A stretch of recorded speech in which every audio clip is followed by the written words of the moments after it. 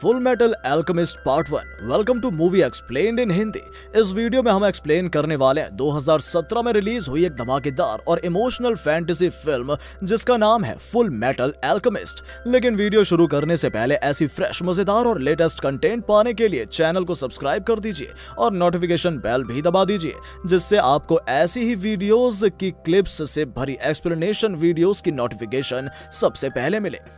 Movie की शुरुआत में हम एडवर्ड और एआई को देखते हैं। दोनों भाई अपनी माँ के साथ रहते थे। अपने पिता के साथ उन लोगों ने अपना रिश्ता तोड़ दिया था। एक दिन एआई और एडवर्ड क्राफ्ट की चीज़ें बनाकर अपनी माँ को दिखाने लगता है।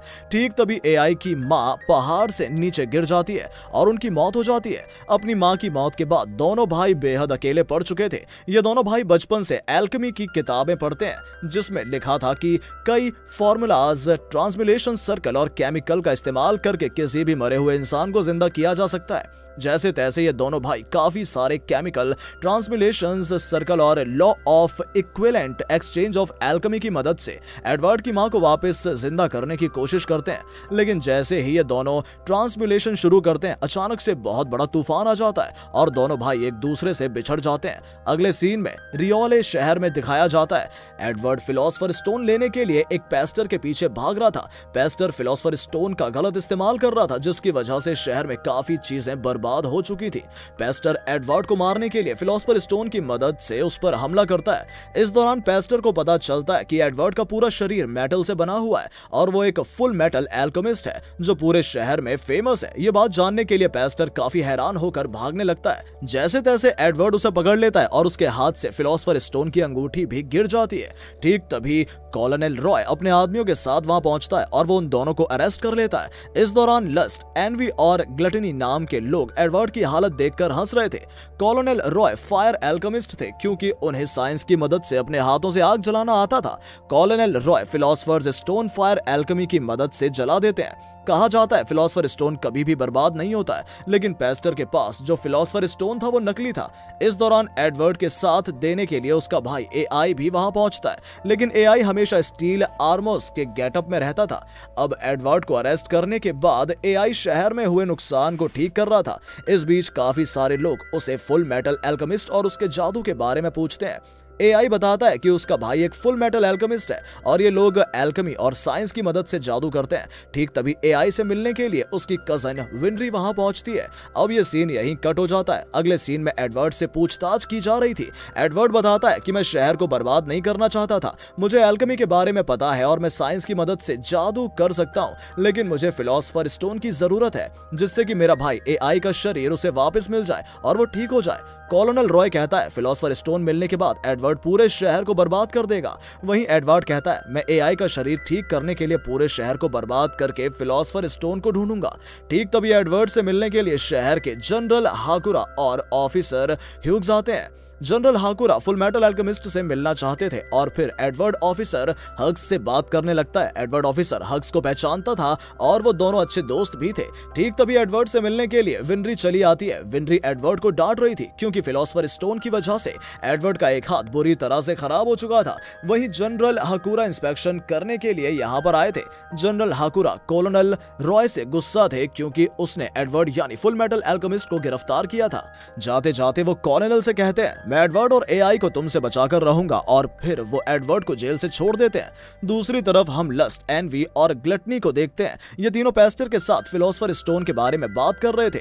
पेस्टर को लस्ट ने ही फेक फिलोसफर स्टोन दिया था। लस्ट, एनवी और ग्लटनी में अजीब तरह की शक्ति थी जिसकी मदद से एनवी अपना रूप बदल सकती थी। ग्लटनी किसी भी जीव को ज़िंदा खा सकता था और लस्ट अपने टेंटेकल से किसी को भी मार सकती थी। यहाँ तक कि ये तीनों अमर थे। कुछ देर बाद ऑफिसर हग्स एडवर्ड एआई और विनरी को अपने घर पर इनवाइट करते हैं। सभी मिलकर एक साथ डिनर करते हैं। अब रात के समय एडवर्ड अपने कमरे में सोया हुआ था। अचानक एक आदमी उसे अपने पास बुलाने लगता है। वहाँ जाते ही एक बड़ा सा दरवाज़ा खुल जाता है। इसे गेट ऑफ़ ट्रुथ कहा जाता है, जिसके अंदर जाने के बाद एडवर्ड को कुछ टेंटेकल्स खींचने लगते हैं। टेंटेकल्स एडवर्ड को पूरा यूनिवर्स दिखा रही थी। काफ़ी दूर जाने के बाद एडवर्ड की माँ से दिखाई देने लगती है। जैसे ही वो अपनी माँ से मिलने वाला था एडवर्ड को वापस यूनिवर्स से बाहर लाया जाता है। एडवर्ड के सामने एक आदमी खड़ा था, जिसके पास उसकी बॉडी नहीं थी। वो कहता है, मैं भगवान हूँ और मुझमें बहुत सारी शक्तियाँ हैं, जिसकी वजह से मैं कुछ भी कर सकता हूँ। इस बीच हमें पता चलता है, एडवर्ड का दाया हाथ और बाया पैर मेटल से बना है, क्योंकि बचपन में जब एडवर्ड और एआई ने मिलकर अपनी माँ को बचाने की कोशिश की थी,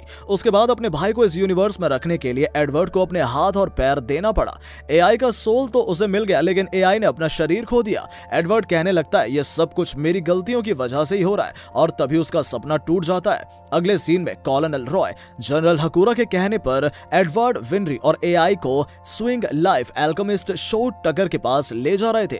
शो शहर के सबसे बड़े एल्केमिस्ट हैं। शो एल्केमी और साइंस की मदद से ह्यूमन ट्रांसमिलेशन करने की कोशिश कर रहे हैं। कॉनेल बताता है, दो साल पहले शो ने शिमेरा को ट्रांसमिलेट किया था और शो से मिलने के बाद शो बताता है, दो साल पहले मेरी पत्नी की मौत हो गई थी। मेरी पत्नी की मौत के बाद मेरी बेटी काफ़ी अकेली पड़ गई थी और मैं भी अपने काम और म्यूटेशन की प्रैक्टिस में बिज़ी रहता था, जिस वजह से मैं अपनी बेटी का ध्यान नहीं रख पाता था। इधर ऑफिसर हग्स कॉलोनल रॉय से कहता है इश्वालियन सिविल वॉर के बाद सभी ऑफिसर्स को ईस्ट हेडक्वार्टर के ऑफिसर पर शक था। इसीलिए मुझे यहाँ पर तुम्हारी नज़र रखने के लिए भेजा गया ये बात जानने के बाद कॉर्नल रॉय को काफ़ी बुरा लगता है, क्योंकि ऑफिसर हग्स और कॉर्नल अच्छे दोस्त थे। गुस्से में कॉर्नल कहता है, अब से मैं भी तुम पर नज़र रखूँगा। इधर शो बताता है कि दो साल पहले उन्होंने जिस शिमेरा को बनाया था, वो सिर्फ़ तीन शब्द बोल पाता है और अब तक वो म्यूटेशन को और बेहतर तरीके से करने में लगे हुए हैं। अब एडवर्ड बताता है, जब मैं अपनी माँ को पाने के लिए गेट ऑफ़ ट्रूथ के पास गया था तब मैंने अपना सब कुछ खो दिया था और मेरी वजह से एआई का शरीर खो गया था और फिर मैंने एआई के सोल को स्टील आर्मोर में ट्रांसमिलेट कर दिया, जिससे कि मैं उसकी बॉडी को ढूंढ सकूँ और अगर उस दिन में अपना हाथ और पैर गेट ऑफ़ ट्रुथ को नहीं देता तो फिर मुझे एआई का सोल वापस नहीं मिलता। एडवर्ड एआई की बॉडी वापस पाने के लिए शो से मदद माँगता है। शो एडवर्ड को डॉक्टर मार्को से मिलने के लिए कहता है, क्योंकि काफ़ी सालों से डॉक्टर मार्को फिलोसफर स्टोन की खोज कर रहे हैं। एडवर्ड विनरी के साथ बाँस में डॉक्टर मार्को से मिलने के लिए जाता है। वहीं एआई को ठीक करने के लिए शो उसे अपने लैब में रखते हैं। इधर एडवर्ड अपने भाई को काफ़ी मिस कर रहा था। उसे हमेशा से ही एआई की चिंता होती है, क्योंकि वो आम लोगों की तरह नहीं है, और उसकी ज़िंदगी भी इंसानों से काफ़ी अलग है। अब विनरी के कहने पर ये दोनों बीच स्टेशन में उतर जाते हैं, क्योंकि इस स्टेशन में विनरी ने डॉक्टर मार्को को देखा था। कुछ देर बाद ये दोनों डॉक्टर मार्को का पता लगाते हैं और उनसे मिलते हैं। डॉक्टर मार्को अपनी जान बचाने के लिए इन दोनों को मारने की कोशिश करते हैं, क्योंकि डॉक्टर मार्को की जान खतरे में थी और अब तक वो इसी वजह से भागते आ रहे हैं। एडवर्ड की पूरी कहानी के बारे में जानने के बाद डॉक्टर मार्को उसे यहाँ से जाने के लिए कहते हैं, ठीक तभी वहाँ पर लस्ट चली आती है। ये वही औरत है जिसने पेस्टर को मारा था। लस्ट डॉक्टर मार्को को मारने के लिए यहाँ आई थी। वो कहती है, अब हमें डॉक्टर मार्को की ज़रूरत नहीं है। और फिर वो अपने टेंटेकल्स से मार्को को मार देती है। मरने से पहले डॉक्टर मार्को एडवर्ड को ट्रांसमिलेशन सर्कल देकर लेबोरेटरी नंबर पाँच के बारे में बताते हैं। शो को इन्फॉर्म करने के लिए एडवर्ड शो के घर वापस चला आता है। इस दौरान घर पर कोई भी नहीं था और फिर एडवर्ड देखता है, शो ने एक नया शिमेरा बनाया है, जो इंसान की तरह बातें कर सकता है। ये शिमेरा बिल्कुल शो की बेटी की तरह बात कर रहा था। एडवर्ड समझ चुका था कि शो एक साइको है, क्योंकि दो साल पहले उसने अपनी बीवी की बॉडी का इस्तेमाल करके पहला शिमेरा बनाया था और आज उसने अपनी बेटी और डॉग की बॉडी का इस्तेमाल करके नया शिमेरा बनाया है। शो अपने एक्सपेरिमेंट से काफ़ी खुश था। वहीं गुस्से में एडवर्ड शो को काफ़ी बुरी तरह से मारता है। ठीक तभी कमरे में एआई पहुँच जाता है। एआई को उस बच्ची के लिए काफ़ी बुरा लग रहा था, इसीलिए वो उससे माफ़ी माँगता है। कुछ देर बाद ईस्ट हेडक्वार्टर्स के कॉलोनल रॉय शो को अरेस्ट करने के लिए आते हैं। इस दौरान उस बच्चे की मौत की वजह से दोनों भाई बहुत अपसेट थे। अगली सुबह एडवर्ड लाइब्रेरी में ट्रांसमिलेशन सर्कल के बारे में किताबें ढूँढने के लिए जाता है। उससे मिलने के लिए ऑफिसर हग्स लाइब्रेरी में पहुँचते हैं। विनरी ने सभी को ट्रांसमिलेशन सर्कल के बारे में बता दिया था, इसीलिए ऑफिसर हग्स को यह बात पता थी कि डॉक्टर मार्को ने एडवर्ड को ट्रांसमिलेशन सर्कल का डिवाइस दिया है। ऑफिसर हग्स एडवर्ड के लिए खाना लेकर आए थे। अब खाना खाने के बाद एडवर्ड लाइब्रेरी में सो जाता है और उसकी मदद करने के लिए ऑफिसर हग्स और ल्यूटेंटन ट्रांसमिलेशन सर्कल की किताब ढूँढने लगते हैं। इस बीच जनरल हाकुरा की मदद से एडवर्ड को लेबोरेटरी नंबर पाँच के बारे में पता चलता है। एडवर्ड अपने भाई और विनरी के साथ लैब में जाता है। पूरा लैब खाली था, जिस वजह से एडवर्ड परेशान था, क्योंकि वो समझ नहीं पा रहा था कि अब वो अपने भाई की बॉडी वापस कैसे लाएगा। ठीक तभी एआई अपने भाई पर गुस्सा करने लगता है। एआई कहता है, मेरी बॉडी मुझे कभी वापस नहीं मिलेगी, क्योंकि मैं एडवर्ड का भाई नहीं हूँ। और एडवर्ड ने मुझमें फेक मेमोरीज लगाई हैं। एआई एडवर्ड को काफ़ी बातें सुनाने लगता है और गुस्से में वो दोनों झगड़ने लगते हैं। विनरी एआई को समझाने की काफ़ी कोशिश करती है, लेकिन एआई समझने के लिए तैयार नहीं था। और फिर जैसे तैसे विनरी एआई को मारकर समझाती है कि एडवर्ड उसका सगा भाई है और वो उससे बहुत प्यार करता है। काफ़ी देर तक फाइट करने के बाद दोनों भाइयों का गुस्सा शांत हो जाता है। इधर जनरल हकूरा और बाकी ऑफिसर्स को पता चलता है कि शहर में वार होने वाला है। जनरल हकूरा वॉर की तैयारी करने के लिए कुछ ऑफिसर से मिलते हैं। इधर ऑफिसर हग्स मैप को ध्यान से देखते हैं और फिर उन्हें पता चलता है बिल्डिंग में लेबोरेटरी नंबर पाँच कहीं नहीं है, लेकिन मिलिट्री कैंप को लैब नंबर पाँच भी कहा जाता है, क्योंकि वहाँ पर काफ़ी एक्सपेरिमेंट्स किए जाते हैं। जैसे ही ऑफिसर हग्स इस बारे में अपनी टीम को बताने जा ही रहे थे, ठीक तभी लस्ट ऑफिसर हग्स को मारने के लिए लाइब्रेरी में पहुँचती है। जैसे तैसे ऑफिसर कमरे से भागकर फ़ोन बूथ पर जाते हैं, लेकिन अचानक ऑफिसर हग्स की मौत हो जाती है और सीन यहीं कट हो जाता है और ऑफिसर हग्स का खूनी कॉर्नल रॉय था। अब अगले सीन में कॉर्नल रॉय के ऑफिसर्स लिeutenant और एडवर्ड को अरेस्ट कर लेती है। एडवर्ड को कुछ समझ नहीं आ रहा था और फिर लिeutenant उसे बताती है कि ऑफिसर हग्स का खून हो गया साथ ही शॉ जेल से भाग गया है। इन दोनों को पता चलता है कि कॉर्नल रॉय ने ऑफिसर हग्स का खून किया है। ये दोनों गार्ड्स को बेहोश करके कमरे से भाग जाते हैं। इधर कॉर्नल रॉय भी अपनी जान बचाकर भाग रहे थे। ठीक तभी कॉर्नल रॉय की पार्टनर ऑफिसर रॉस कॉर्नल को पकड़ लेती है। कॉर्नल फायर एल्केमी का इस्तेमाल ऑफिसर रोज पर आग लगा देता है।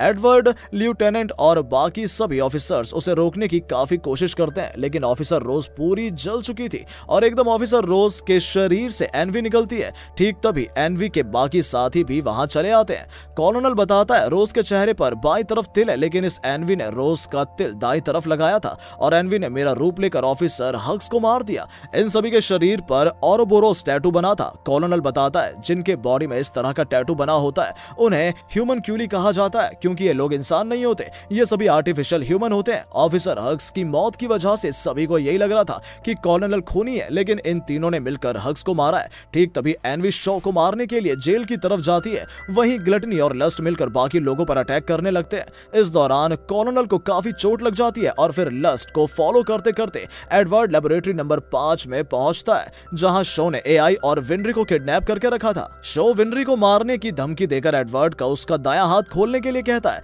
जिससे कि एडवर्ड की शक्तियाँ कम हो जाएँ और फिर वो उसे फिलोसफर्स स्टोन दिखाता है, जो अब तक उसके पास था। शो बताता है, काफ़ी सालों पहले डॉक्टर मार्को ट्रांसमिलेशन सर्कल में सोल्जर्स को ज़िंदा मारते थे, जिसके बाद ट्रांसमिलेशन सर्कल एक इंसान के बदले एक फिलोसफर्स स्टोन जनरेट करता था, और इस कमरे में लाखों सोल्जर्स के बदले लाखों फिलोसफर्स स्टोन है। ये कहकर शो एडवर्ड को मारने वाला था, लेकिन तभी लस्ट वहाँ पहुँच जाती है और वो शो को मार डालती है। लेफ्टिनेंट कॉलोनल और जनरल हकूरा भी लैब नंबर पाँच में पहुँचते हैं। जनरल हकूरा लस्ट के लिए काम करता था और अब वो दुनिया पर राज करना चाहते थे। डॉक्टर मार्को के साथ जनरल हकूरा मिले हुए थे और अब तक जितने भी सोल्जर्स को मारा गया था, उनकी बॉडी जोम्बीज की तरह बन गई थी। जनरल हकूरा सभी सोल्जर्स की बॉडी का इस्तेमाल करके सबको मारना चाहते थे। एक एक करके जनरल हकूरा सभी को रिलीज़ कर देता है। जनरल हकूरा सोल्जर्स को ऑर्डर देने के लिए उनके पास जाते हैं और अचानक से सारे सोल्जर्स उन पर हमला कर देते हैं, जिसके बाद हकूरा मौत हो जाती है। सोल्जर्स के सोल से फिलोसफर स्टोन बना है और अब उन सोल्जर्स के अंदर सोल नहीं है। इसीलिए वो सभी मिलकर आम लोगों पर हमला करके उन्हें मार देंगे। लेफ्टिनेंट अपनी टीम के साथ मिलकर इन लोगों को रोकती है। इधर कॉलोनल फायर एल्कमी की मदद से सभी को जलाने लगते हैं। इधर एडवर्ड और एआई मिलकर इन सोल्जर्स को ट्रैप कर लेते हैं और ग्लटनी सभी को ज़िंदा खाने लगता है। कुछ देर बाद कॉलोनल लस्ट का पीछा करता है। लस्ट उसे मारने की कोशिश करती है,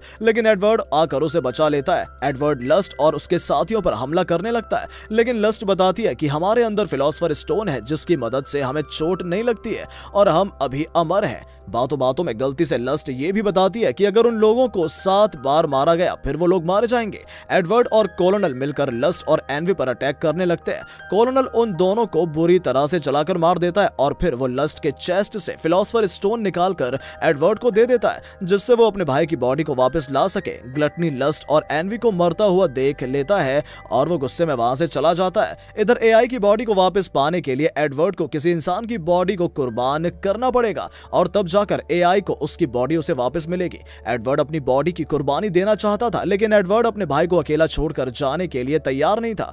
एडवर्ड एल्केमी की मदद से अपने सपने में जाता है और इस बार वो अपने भाई की पूरी बॉडी देखता है। एडवर्ड को उम्मीद थी कि वो जल्द से जल्द अपने भाई को ठीक कर देगा। वहीं एआई भी खुश था क्योंकि उसका भाई उसके साथ रहेगा। मूवी के एंड में विनरी एडवर्ड और एआई अपने शहर में वापस जा रहे थे। इस दौरान एडवर्ड अपने भाई से वादा करता है कि मैं बहुत जल्द तेरा शरीर तुझे वापस दिला दूँगा, जो मेरी वजह से खो गया है। और इसी डायलॉग के साथ ये मूवी यहीं एंड हो जाती है। तो ये मूवी एक्सप्लेनेशन आपको कैसी लगी? कॉमेंट बॉक्स में ज़रूर बताए। वीडियो पसंद आई हो तो वीडियो को लाइक और शेयर कीजिए। और चैनल को सब्सक्राइब कर दीजिए। मिलते हैं आपसे अगली मज़ेदार वीडियो के साथ।